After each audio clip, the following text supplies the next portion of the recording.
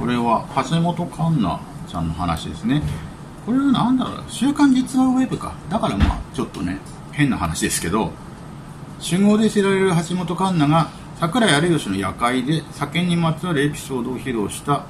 お酒を飲む時はメイクを落としていくと決めていて酔っ払って帰ったら落とさない落とさないのでそれは良くないと完全にオフの状態で行くと、えまたリップサビでプライベートなダメっぷりを披露を好きな酒を聞かれるとビールが好きで夏にたくさん汗かいて飲む1杯目のビールが一番好きなんですよと揚々として語っていた。7月29日のインスタグラムでは風呂上がりにすっぴんで焼酎するという貴重貴重な超貴重な姿を披露。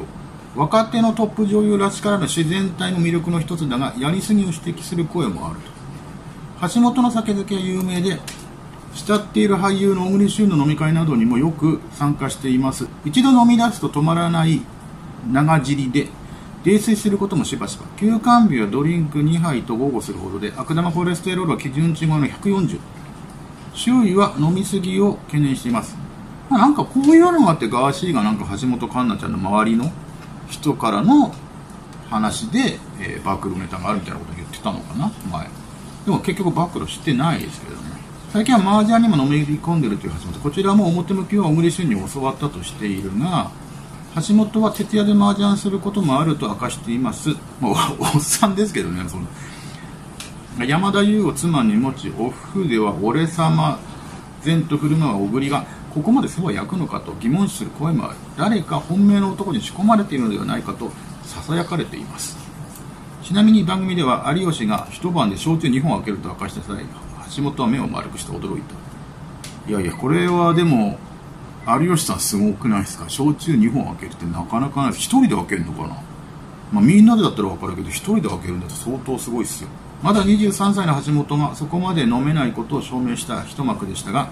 橋本はネットなどで歯茎が黒ずんでると指摘されて喫煙疑惑がありおっさん化に歯止めがかからない。地方アイドル上がりの橋本ですが本人はキャピキャピした。若いアイドルや女優と同列に慕われる扱われることを嫌っている。それで自然体おっさんキャラを打ち出しているわけですがそろそろ度が過ぎてき始めたのでは今後の展開に頭を悩まされているようです。酒と鉄板に加えタバコまで吸っているのが事実なら肝臓だけではなくこれまで平気で晒してきた自慢のすっぴんにも影響が出かねない。女性の肌の曲がり方とされる25歳を控え橋本がいつまで美貌を保てるのか少年を迎えているだそうです。まあいくつかあるんですけどこれ読んでて。まあお酒が好きなっていうのは有名じゃないですか橋本環奈さん一人で居酒屋行くとか言ってね一人酒する。それは別に好感度が僕はいいと思うしそこは何の問題もないと思ってるんですね。ビールをね一番好きで夏一杯のビールが好きだっていうのはもう僕にしては好感度以外に何者でもない。で風呂上がりにすっぴんで焼酎飲んでるので最高じゃないですかと思いますけど悪玉コレステロールは基準値超えの140ってやつね。僕はまあ病院でね行ってます痛風持ってるからね。悪玉コレステロールは僕いいんですよ。あの低いんですよ。善玉の方が多いのでコレステロールのあれはいいんですけど僕中性脂肪が高いんですよ、まあ、酒がどうのっていうよりもやっぱりその人それぞれ持ってる遺伝もあるしね。もともとのそういうのがあるので何とも言えないのでバランスが取れてればいいっていうふうに言えばいいんですね。全部が全部よよくする必要がないと。ポイントだけ押さえててバランスさえ良ければいいって話をされてるのでこれはなんかね、一人にね、悪玉コレステロールだけが基準値後の140って言ってるけど、まあ、それ以外のもうあるじゃないか、中性脂肪もあるだろうし、ガンマなんとかもあるだろうし、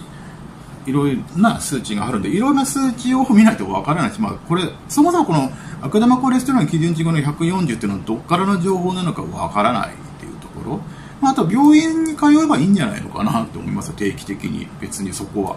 それを、ね、悪玉コレステロールを抑える薬なんてね、全然ありますからね。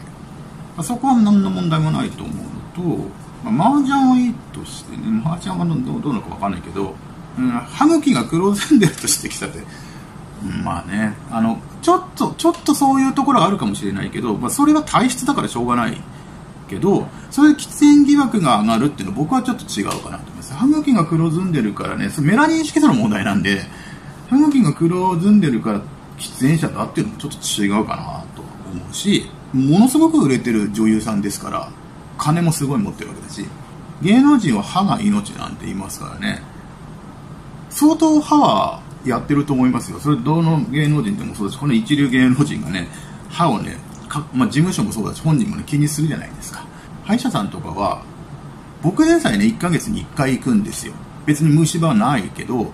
1ヶ月に1回はメンテナンスに行くんですね。歯をね。あの白くするために行ってるんですけど芸能人だったら1週間に1回ぐらいは行ってるんじゃないかなと思うので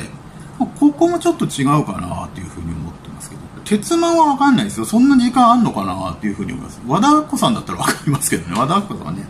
鉄マンするって言いますよね。中居君とかか。中居君も鉄マンですよね。さんまさんも。だから芸能人麻雀好きな人多いんじゃないですかね。って思いますよ。まあそれ以外のそのお酒とタバコ？数値っていうんですかね。まあそれはまだ若いから別にいいんじゃないですかと思います、まあ、そんな感じです。